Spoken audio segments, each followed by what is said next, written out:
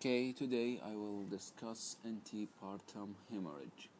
In this video, I'll provide an introduction about uh, the antepartum hemorrhage, its main causes, and how to approach a patient with antepartum hemorrhage, and then how to deal with a case of massive antepartum hemorrhage. In the next videos, I will discuss the main causes, uh, the two main causes of antepartum hemorrhage. So, Let's start with a definition. What's antepartum hemorrhage? It is defined as any vaginal bleeding that occurs from 24 weeks of gestation till delivery of the baby. So any bleeding, no matter how much it is, how much is it uh, before delivery is considered antepartum hemorrhage and not that it should be from 24 weeks of gestation that is we, we are having here a viable baby. Before 24 weeks of gestation vaginal bleeding is related to early problems of pregnancy uh, like ectopic pregnancy and miscarriage. Whereas after 24 weeks gestation till delivery we call it antepartum hemorrhage and after delivery it's called postpartum hemorrhage. Antepartum hemorrhage is uh, quite common. It affects about 3% of pregnancies and it is a major cause of uh, maternal mortality and also it can affect the fetus. Uh, the, uh, the main causes of uh, antepartum hemorrhage are uh, divided classically into two main groups. We have causes that are related to the pregnancy, we call them the obstetric causes and we have general causes that are not related to pregnancy we call them non-obstetric causes the obstetric causes are further subdivided into placental maternal and fetal. The main placental problems are the most important one uh, include the placenta previa and abruptio placenta. These two conditions placenta previa and abruptio placenta account for about two-thirds of cases of antepartum hemorrhage. In the maternal cause, uh, we have the uterine rupture. Uterine rupture usually occur uh, when we have an induction of labor. So it mostly occurs during labor. Uh, when uh, the mother is having poor contraction, we give her uh, oxytocin, trying to induce more contractions. But if we give an overdose of oxytocin, this may lead to hyperstimulation of the uterine muscles and end in uh, rupture of the uterus and this is especially seen uh, when the uterus is previously scarred for example we have a previous caesarean section of the fetal causes we have fetal vessel rupture this condition uh, specifically seen when the fetal vessels when the umbilical vessels are not directly inserted into the placenta they are inserted away from the placenta between the amnion and the chorion. Here the, the blood vessels are uh, not protected and are vulnerable to damage by any trauma. Uh, this condition requires an immediate cesarean delivery. These are the main obstetric causes. The non-obstetric causes uh, are, include cervical causes like uh, cervicitis, cervical ectropion, which is the condition in which the endocervix protrudes out of the cervix and undergoes squamous metaplasia. You know that the endocervix is normally covered by columnar epithelium. When it uh, prolapse uh, through the ectocervix to the outside, it will undergo squamous metaplasia, and this predisposes to bleeding by any uh, trauma. Also, we have cervic cervical neoplasia. Vaginal and vulvar causes include uh, lacerations and neoplasia and we also have uh, any medical condition that increase the tendency for bleeding like clotting disorders um, usually the uh, non-obstetric causes are uh, benign conditions except from the neoplasia and uh, are usually presented with spotting whereas the obstetric causes mm, usually uh, presented with uh, more severe bleeding. As I said, the placenta previa and abruptio placenta account for two thirds of the cases of uh, antepartum hemorrhage, while all the rest causes account for the remaining one third. So I will uh, focus in the next two videos on placenta previa and abruptio placenta. Now, these are the main causes of antepartum hemorrhage. Now, how to approach a patient with antepartum hemorrhage? Now, this depends on the amount of the bleeding. If the bleeding is so massive, we don't have enough time. We must interfere as rapidly as possible. If the bleeding is less severe, we can take a rapid history, and uh, in the history, we must focus on certain things that will get us to the uh, real diagnosis. First of all, we must ask about the character of the bleeding, including the duration of bleeding, the amount of bleeding. As I said, obstetric causes are associated with more severe bleeding than non-obstetric causes. Also, we must ask if there is a clot, a clots associated with the bleeding, because the clots usually indicate uh, heavy bleeding.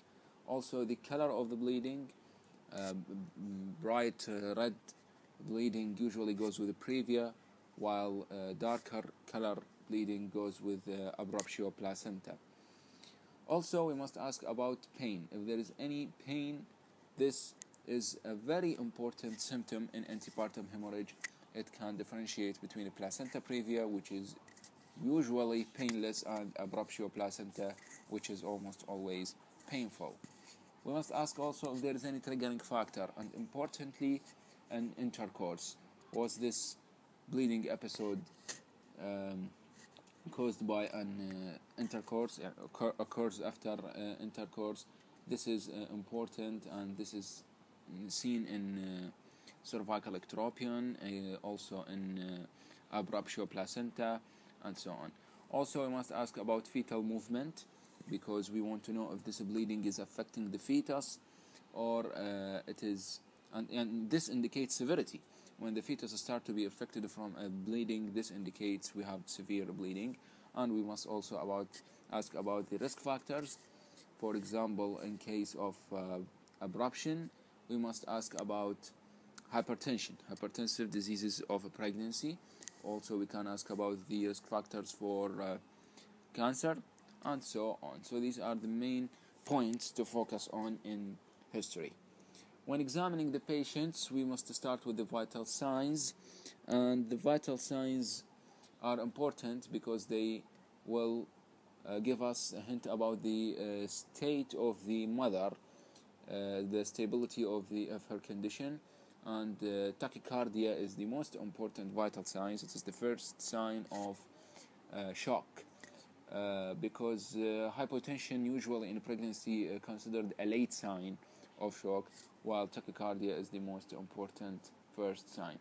Abdominal palpation, we must palpate the abdomen. Tender uterus usually goes with abruption, while soft abdomen, non-tender goes with previa. Then we may do speculum examination. Speculum examination is important for uh, diagnosing the local causes like cervicitis, ectropion. Digital examination is, is contraindicated in any case of antepartum hemorrhage until we exclude the placenta previa. Because if we have a placenta previa and we insert our fingers, this will provoke a severe episode of bleeding. So, digital examination should be delayed after we do an ultrasound and exclude placenta previa. Okay, so after taking rapid history and do rapid examination, we must send for investigations. The investigations we send include blood tests. We send for uh, first, the most important thing is to send for cross match and prepare blood because the mother may go into an, an episode of massive bleeding at any time and you must prepare her a blood. We also send for complete blood count, looking for uh, anemia we may also send for clotting study. Uh, we send, um, if the mother is Rh negative, we send for a Kleihauer test to uh, measure the degree of fetal-maternal hemorrhage and see if the mother needs to take uh, RhoGAM anti-D, and so on. Uh, then we must do an ultrasound scan. This is the most important investigation because, as I said, we must first diagnose or exclude placenta previa and ultrasound is the most sensitive test for this condition. These are the maternal investigations we send. Then we send fetal investigations, trying to know the condition of the fetus. Specifically, we send for CTG. The CTG will show the viability of the fetal heart. Um, for example, a placental abruption exposes exposes the fetus for uh, fetal hypoxia, and this will be seen in, on the CTG. And we may also send for Doppler study. Doppler is important in diagnosing uh, intrauterine growth restriction, or if there is, for example, placenta accreta, which accompanies the placenta previa, and I will discuss this condition in the next video. Now, this is how we approach a patient with uh, bleeding. Now, if we have a patient presented to us with massive bleeding, we must interfere more rapidly. We start with the uh, ABC, we check the airway, we put uh, oxygen, and we check her circulation. We establish two IV cannula. We replace the fluid in one side, and this fluid, the best fluid to, to replace with is the blood. And if we don't have a blood, we uh, can start with a crystalloid like normal saline and we put a Foley catheter and we measure the fluid input and the fluid output. Also, we put the mother in a left lateral position to avoid compression of the inferior vena cava by the gravid uterus. And then we take a blood sample and send for investigations, the same investigations, cross match, preparing the blood, uh, complete blood count, platelet count, uh, DIC, liver function test, renal function test, Kleihauer test, and we assess the fetal condition with cardiotocogram and an ultrasound scan. And then we decide on delivery according to the condition.